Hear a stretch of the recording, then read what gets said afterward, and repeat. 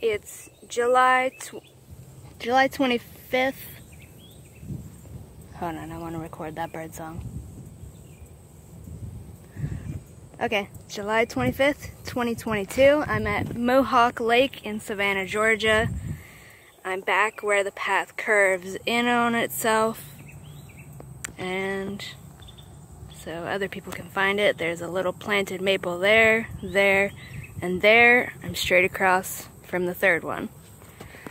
Over here, if I can get it to focus, there's a telephone pole going up.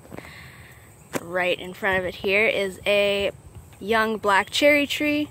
And back here, with the craggly bark, is a common persimmon tree. And I have a plant marker, a wooden plant marker stuck in the ground here to mark it. This, this is a female tree. Common persimmons come in both male and female. So the male ones only produce, produce flowers that only produce pollen and female trees produce flowers that will form fruit after they get pollen from a male tree. I've got another wooden marker there in front of the tree. I think this is, I think both of these trunks are from the same plant, but I don't know for sure. But you can walk in here if you're careful. Still relatively young tree. It's Probably like a decade old or something, but not ancient. And then if you look up here, all the little dark circles are fruit that's forming. Let's see if I can zoom in. Yeah. Not very well, but there is a fruit right there, that little dark spot. Yeah, it's not gonna let me zoom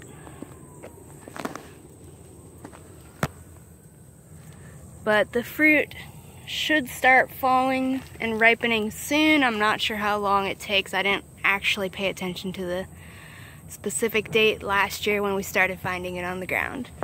These are a separate species from the persimmons you find in the store. Those ones are domesticated ones, usually from Asia.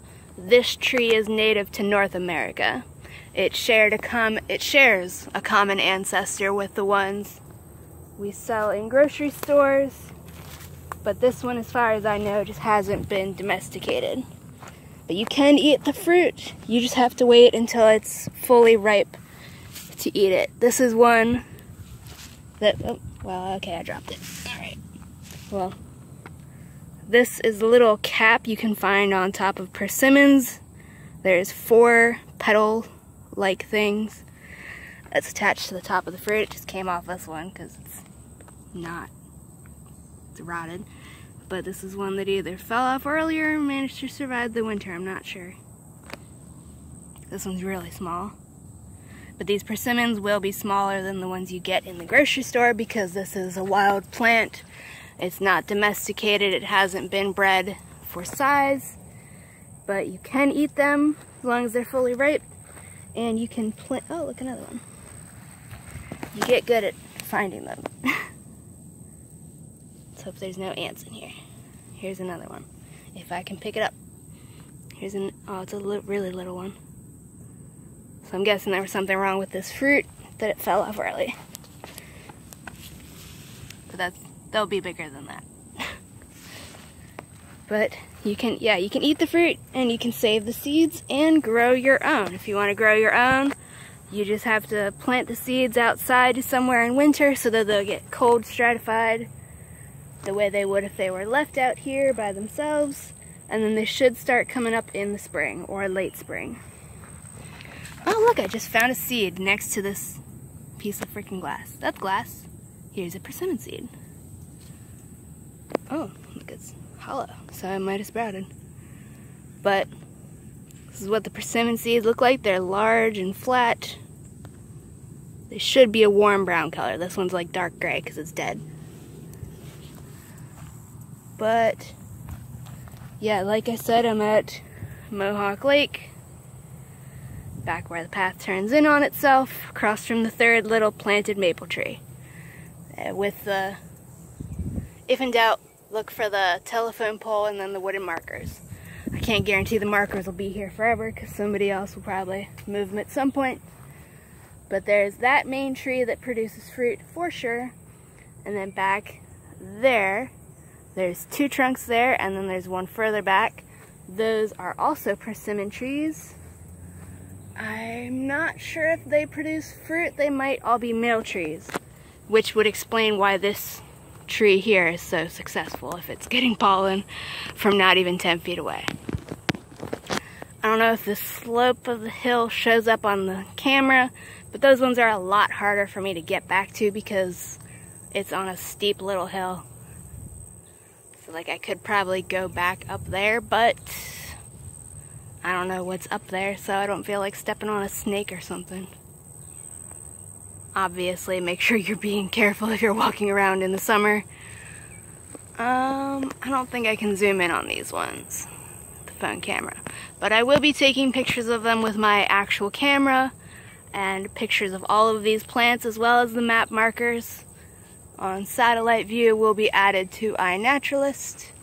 Actually, no, I, ca I can see some fruit on those little branches right there. It will not show up on the phone though.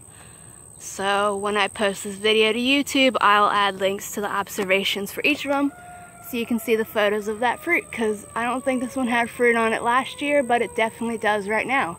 And it's got a ton of it, so that's really cool. Uh, this tree's, I just forgot the scientific name.